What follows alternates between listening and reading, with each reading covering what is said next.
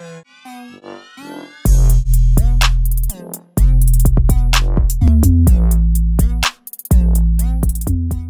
this video, I'm going to be introducing electrical circuits and its main three components, which are voltage, current, and resistance.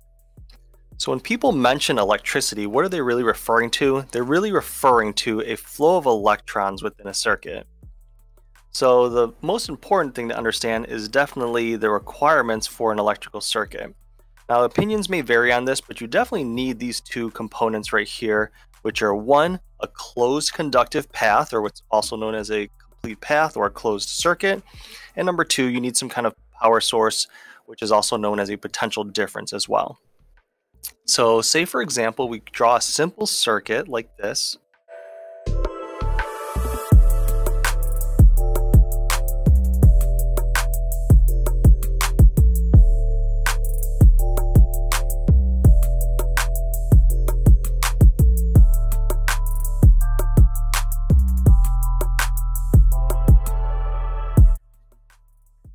That has a battery, wires, a light bulb, and then wires coming back to the other terminal of the battery. Okay, we have both of our components here, which is a closed path. The closed path is right here. As you can see, it makes some sort of loop where the electrons can continue to get energy from the battery and then flow through the entire circuit. And then we clearly have a power source, which is the battery itself.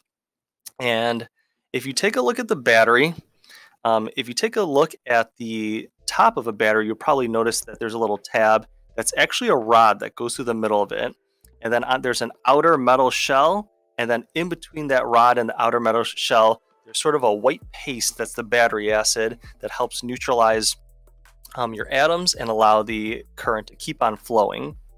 If you take a look at this circuit right here, they're typically not drawn like this. They're typically drawn as a schematic diagram where there is a cell or a battery and then some wire and a little zigzag line that represents a resistor. So typically when you see electrical circuit diagrams drawn, they're going to look something like this.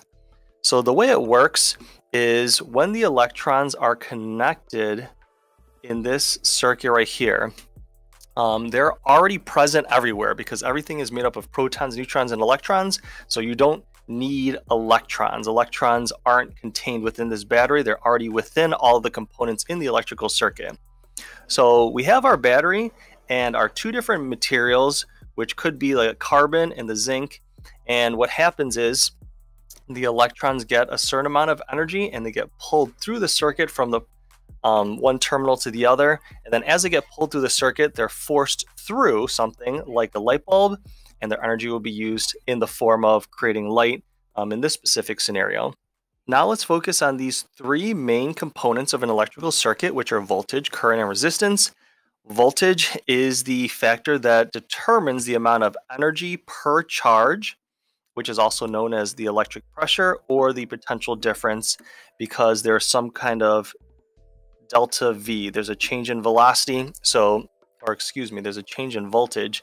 So there is a high voltage region and then a low voltage region, and then um, charges flow from high to low. So when you're taking a look at each of the electrons, they're loaded up with a certain amount of um, electric potential energy per charge. And then as they get that energy from a battery or some other source, they move throughout the circuit. The unit for voltage is a unit that's commonly known, um, which is volts, named after Alessandro Volta, and that's notated with a capital V. For current, uh, this is similar to an air current or a water current. It's the rate of flow, and this one specifically is referring to the rate of electron flow. So it's the charge per second.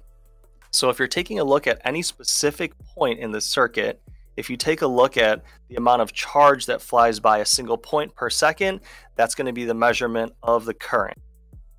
And the unit for current is amperes, which is the full name for the actual unit itself, but people typically use the shorter version, which is amps, and that's notated by a capital A. Now for our last part, it is resistance capital R, and just as it sounds, it's some sort of opposition to the current. So once you place any sort of resistance into the circuit, it is going to slow the flow of electrons, and that's measured by the unit of ohms. And typically, that is represented by an omega symbol. So if you have something that has a resistance of 5 ohms, it's normally written kind of like this. Okay, and the resistance will be developed by um, a bunch of other factors. Basically, everything has some form of resistance, but the things that people typically focus on are just plain resistors themselves that are placed in a circuit to control the flow of electrons, or things that just typically use electrical energy, like a light bulb. When they're placed in there, electrons have to use a, a good amount of energy to pass through them. Therefore, they are also considered a resistor and provide some form of resistance. I hope that was helpful in helping you understand an electrical circuit, the requirements for an electrical circuit, and the three main components of the electrical circuit. Thank you for watching and listening.